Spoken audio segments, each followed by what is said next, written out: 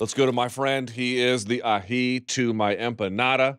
He is the queso blanco to my chocolate. It's Danny Segura in the back.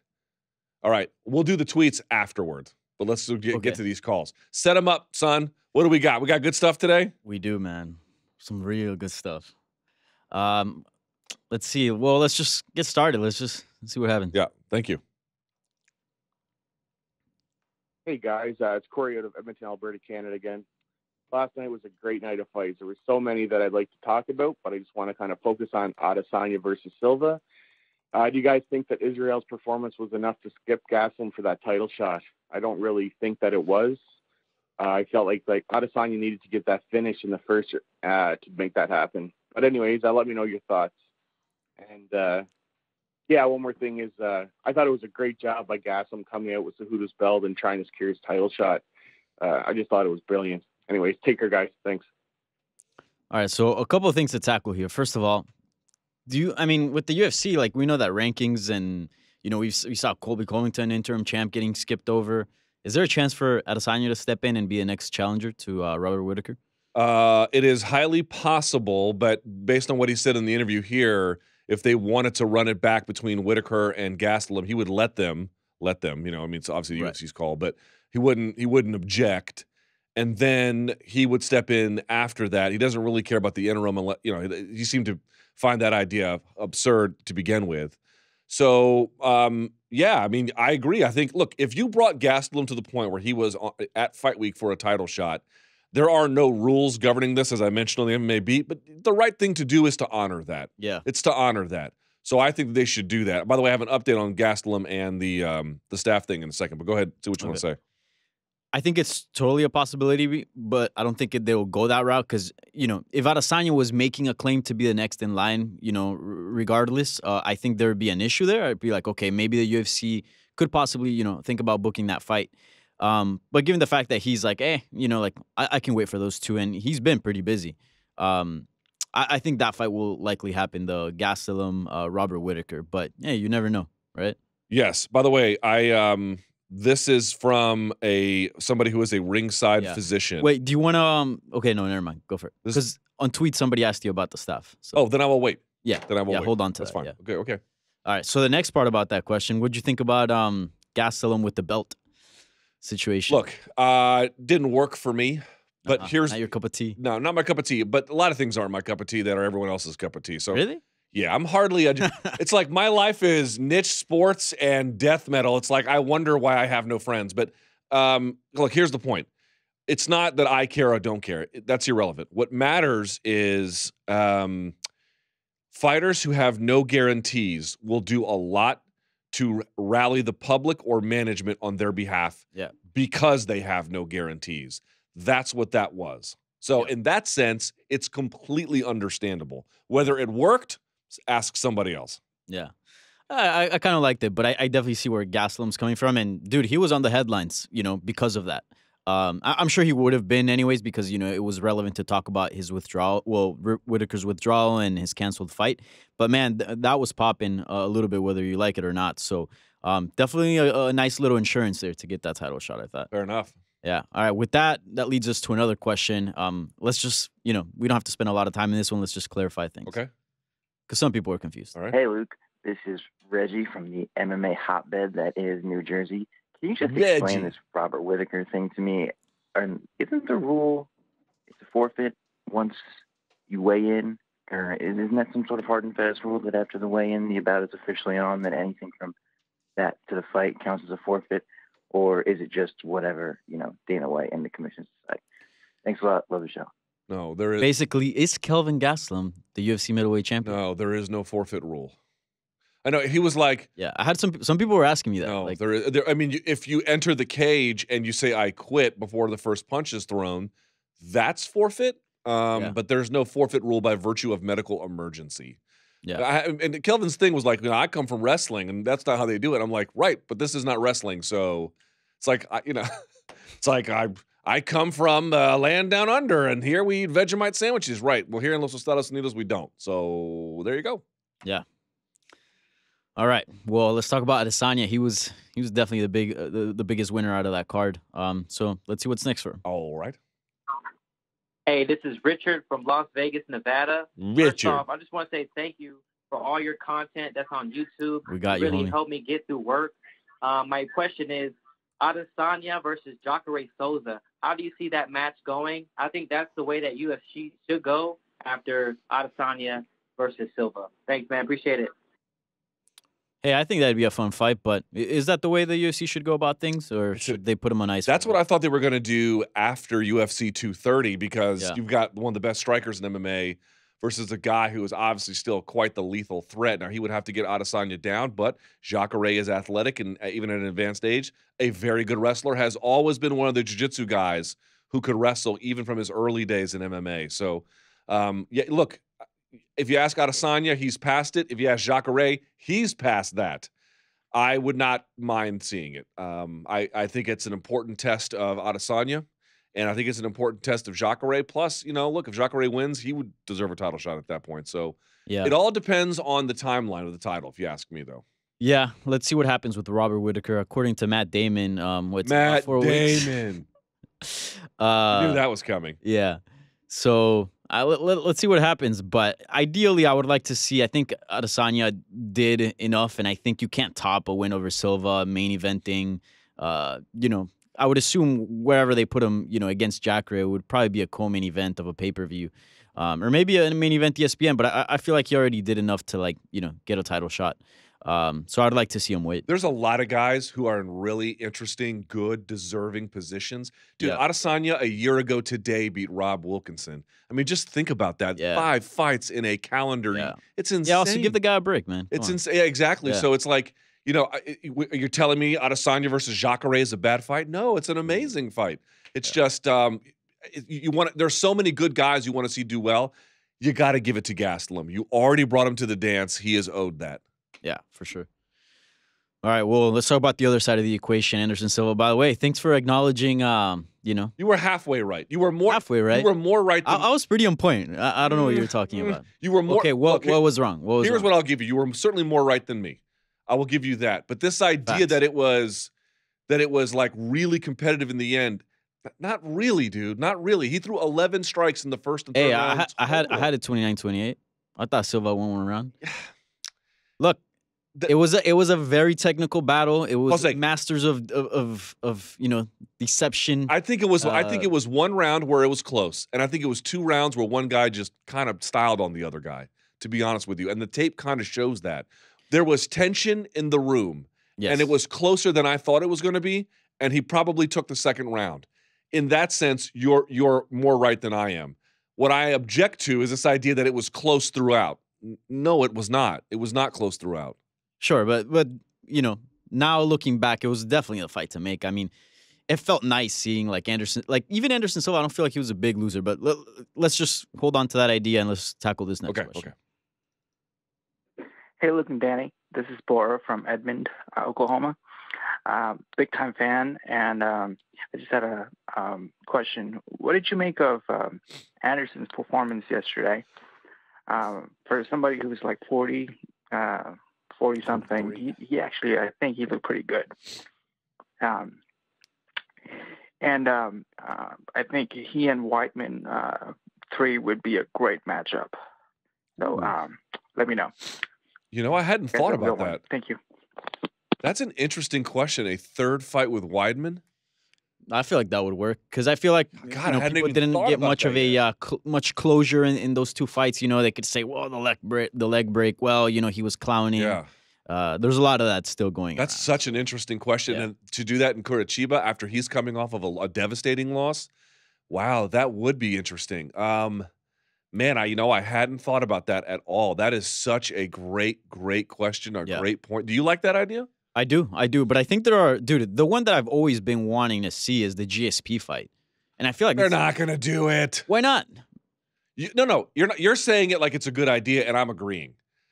I- had St. Pierre on my radio show just a couple of months Yeah. ago, and he was like, "Yeah, no, no, it's not. It's not happening. It's not happening." That that'll be forever. Uh, I know a lost, know. a lost opportunity. I, I look. I, I agree. I agree. I certainly agree. It's just it's just I you know it's like the Yeah. Nick Diaz thing. You just can't count on it, man. You really can't. And that that third fight with Weidman, that would be something. That would Yeah. really be something. Here's the one thing I want to say about Silva.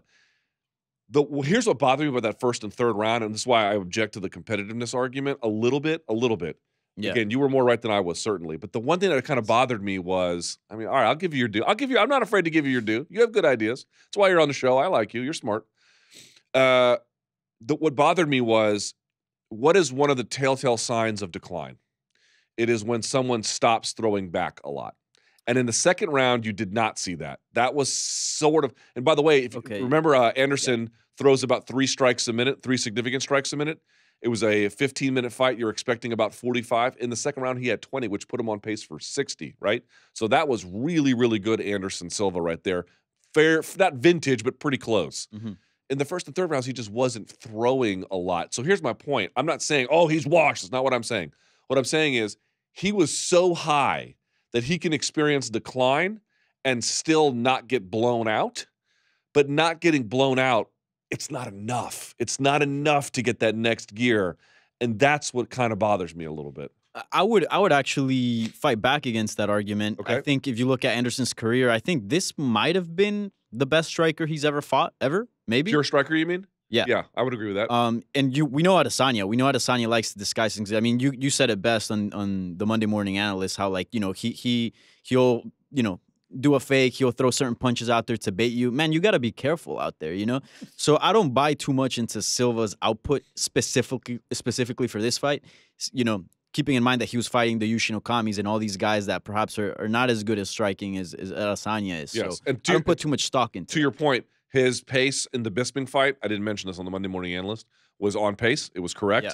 And then I forget who else he fought. Oh, on the Brunson fight, also, Bi- also Bisping's not a one punch knockout type of guy, you know. He's with volume, so you can't afford to go in there and, and mix it up with him. As as Adesanya, you know, he really hasn't showed us one punch knockout, but I mean, he could he could damage you real bad if if, if you're not careful. I take your pushback as real, but let's just do this. Yeah. Let's monitor his output going forward yes, and see if this is the beginning of that or if it was just an aberration. but safe to say, because this is this has been always my thing. Safe to say, Anderson Silva's not washed up. Safe to say, he's a top fifteen middleweight. Do you agree?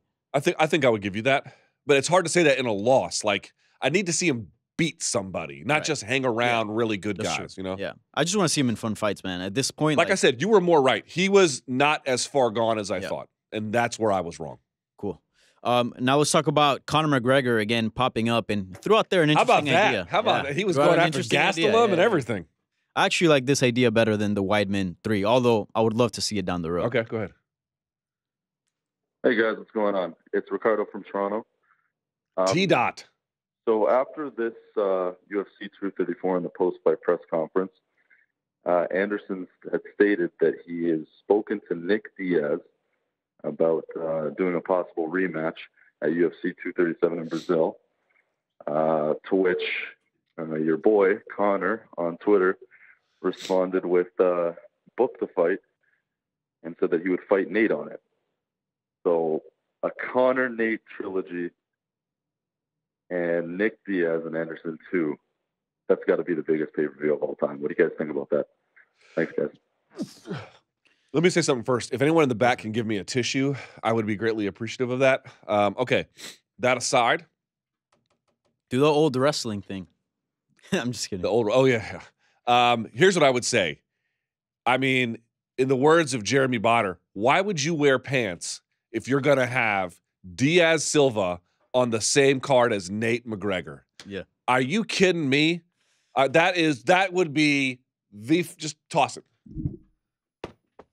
Hey. nice catch. Still got it with the Odell Beckham Jr. of Kleenex, huh? All right. Um, in any event, dude, that would be tremendous. It's just how on earth are you going to get both Diaz brothers to Brazil? Good luck with that one. Yes, uh, that's that's where I have a different opinion um, than Conor McGregor's. I I think those fights, dude. I'm down to watch those two fights. Make them in Vegas, though. Hey, heck, make them in New York. Yeah. Um, but dude, yeah, th- those would be great fights. I, I still want to see the Conor McGregor Nate Diaz trilogy. I think that has to happen before he retires. Hopefully, um, it- it's a it's a, you know it's one one man. You know you gotta you gotta sort it out. And then the, the Nick Diaz Anderson Silva one, I think I think this time around it would be more fun than than the first time. I don't know. Can I make a point about the Diaz brothers? Yeah. When they were on MMA Uncensored Live on Spike TV, we got them both in studio at the same time. A feat that has not been accomplished since 2012. G O A T. Your boy booked those two. We got them both in studio. Okay. I want credit as the greatest of all time. There is no more difficult feat. Bro, you'll find the Loch Ness monster and Bigfoot before you find two Diaz brothers together. And Sean we Shelby. did it. Sean Shelby and the UFC should hit you up. You know, make them fight on the same card. Like I said, dude, I have all these good ideas. and no one ever Yeah. listens. Okay. But you know, here we go. Just want to point that out. All right, cool. Um, do we got time for one more? Do you want to we, switch no, no, no. to we have, uh, we have- no, no, we have time for a couple more. We- Okay. Once again, I'll just scream uptown like I always do. What's new? Yeah. All right. Uh, let's talk about the upcoming card. Pretty good, man. It's That I would ESPN actually card? argue- Yeah. Yeah, I would actually argue that it's better than the pay per view we just saw I would. It's the first one on E ESPN. They came correct. for sure. The matchups are really good. Yeah. Hey, Luke and Danny, it's Mike calling from Deerfield Beach, Florida. I just have two questions. My first one's about Kron Gracie. What is your expectation for his debut in the UFC? You feel that uh, I feel like he comes in a little too desperate with his clinch game to try to come in for the grappling exchanges? You think Alex Caceres has been working on Muay Thai or any clinch work in the middle? And uh, what do you expect coming out of that fight? And then what is your dark horse fight for the fight card? Mine is between Vicente Luque and uh, Bryan Barberena and Aljamain Sterling and Jim Rivera. Uh, what are your thoughts? Thanks again for the answer. If you the answer.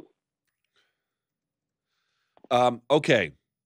Great question about Kron. So let me say this. I have not seen his stand up, no one's seen his stand up enough. Yeah.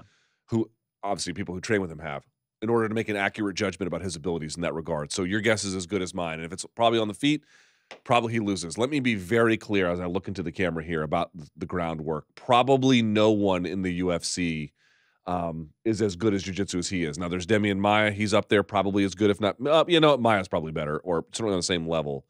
Um, and then Jacare as well. But Kron was the last one of those guys at that level to compete and then make his way into MMA. We are talking about a level of jiu-jitsu where if they get you down, chances are there's just no looking back on that one. Very, very, very, very, very high level. He is superb on the ground. As for the rest of it, I don't know.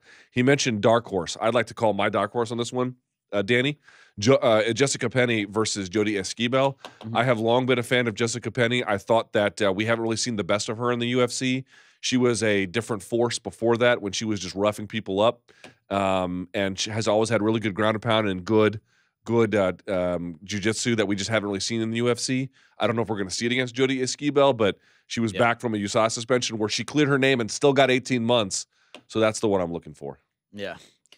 There's so many. The, the thing about this card is that like it doesn't have like a, a lot of star power, but the matchups are you can you can tell you know the matchmakers in this one sat down and carefully drew it out because every single matchup is just fantastic. I can I can name a few, but I'm really excited for the Alex Caceres Kron Gracie one.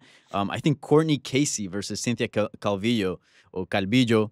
That might be uh that might steal fight of the night. Th- these two girls Good are very- call. they're very scrappy. They're very good grapplers. They're they're good everywhere, really, and uh, they always they have uh, a high output and high pace. So that should be a fun. You know what's great about this? Courtney Casey and and um, and Calvillo, as you pointed out, two ladies who are technical, yes, but also if they got to if they got to bite on that mouthpiece a little bit and thug it out, they will. Yep. Uh, which I kind of like as well. By the way, James Vick Paul Felder, that was supposed to be a UFC Yes. Nebraska, they rebooked that. Caceres versus Gracie, Vicente Luque, the most underrated fighter in the UFC, oh, yeah, for sure. versus fellow Colombiano there, Bryan Barberena.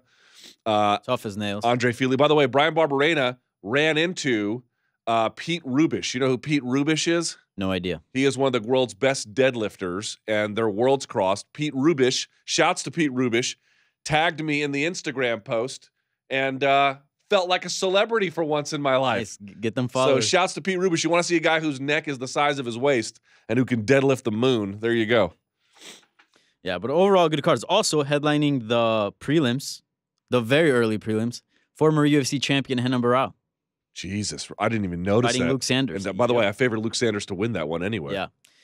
I always I'm always fascinated by by these uh type of matchups, you know, like not so long ago, you know, um, Maynard fighting Ryan Hall, uh, you know, et cetera, BJ Penn. wh- When you get somebody that's really good, that was at the top, and you know they're they're looking to get back in there, and uh, it's always interesting to see if they they're going to be able to turn things around. Agreed.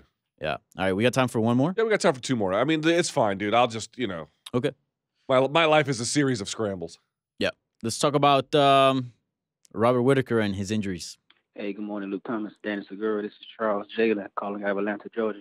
My question ATL about Georgia, what can we do for uh, you? Robert Whittaker. Uh, do you think he has become the most injury-prone champion the UFC's ever had? Um, yes, I understand this last injury was very, very significant. I mean, I too have had an inguinal hernia surgery uh, back in December, and I missed the whole month of December pretty much. Uh, I was limited to weightlifting for that whole month, so I understand that injury, but the facts are the facts. I mean, he fought one time in 2018, and prior to that, his last fight was like July of 2017. So he has a lot of inactivity. I mean, he's so very skilled. I love seeing him fight, but what do you think his ceiling is, or you know, is he is he still in his prime, or has his prime been Okay. diminished? All right, all right, I get it. Um, here's the deal. It's a great question. He always calls with good stuff. Yeah. The injury prone thing, it's like um, you heard Adesanya's theories. Maybe it's a way he's training. Here is one thing that there's not much science on, but what science there is kind of tells us there might be more to dig.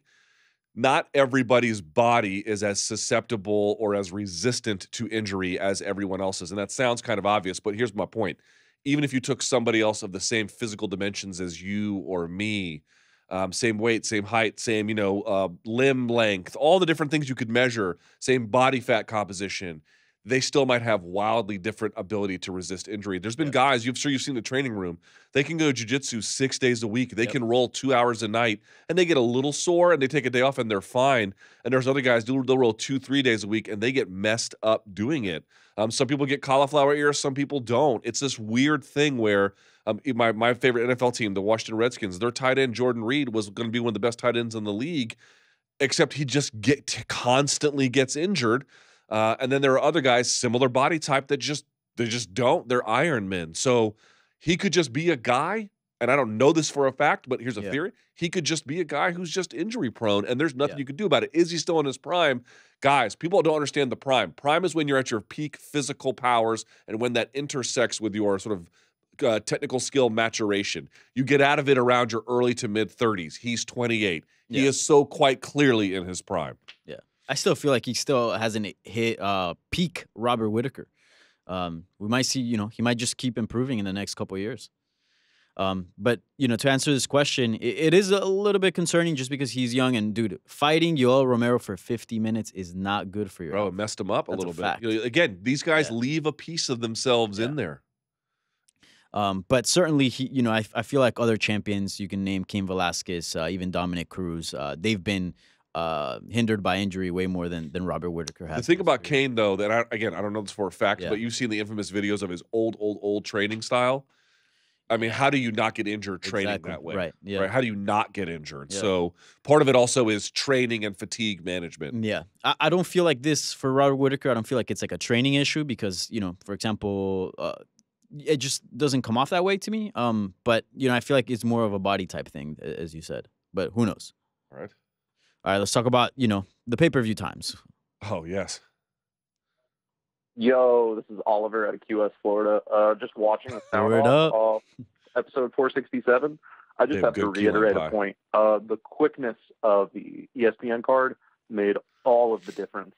Um, the extended length of the previous cards drove away so many of my friends from watching the sport. If we could get pay per view cards down shorter and over at a more reasonable hour, I think the sport would grow exponentially. Anyway, thanks for the show. Have a good one, y'all.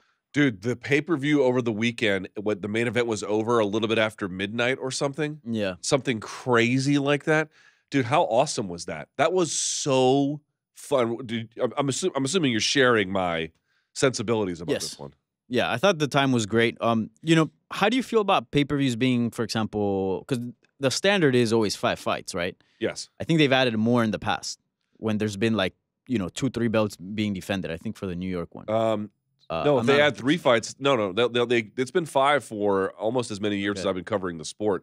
They'll have another one they throw in that they air on the broadcast Right, that yeah. aired earlier if there's time or something. But it's been five, yeah. I know the UFC for a while tried starting them at 9 p.m. and I feel like that that wasn't working. But again, that was like years ago. I might must have been like six, seven years ago, maybe. I don't know. They tried earlier at nine, which I thought was awesome, but I guess Yeah. they didn't like the results or what the feedback was on the uh, or you know even pay per view buys. I'll just say this: the uh, paper, the uh, the card for this one starts. The main card starts at nine for UFC on ESPN one, and you know they're done in two and a half hours. And folks, uh, someone uh, bit back, they're like, that's only like a half hour, forty five, maybe at most an hour shorter. Let's say it's forty five. Split the difference, dude. Forty five minutes of less I'll, bullshit. I'll take it. I'll take That it. is so. I mean, that is such a tax off Yeah. the uh, burden that has been freed from us, dude. The FS1. I'm not kidding, man. The way they did that, dude. I'm not. I'm being dead serious. I know I beat a dead horse with this one. It affected my fandom, dude. It affected Dude, my willingness to watch. I was resentful of having to sit there and watch that with ESPN just going like this. It's like Yeah. manna from heaven. Yeah. Like essentially we all came here to watch fights not commercials so i understand you know it's part of it but like some of the stuff that they were rolling out on fs1 was just filler it was just nothing uh, so yeah I'm, really glad espn is, is picking it up you want to switch over to Tweets, yes, because I'm gonna have to get out of here. Good job right, this cool. week, sounds good and um, we'll be back next week. Uh, and enjoy the fights, my friend.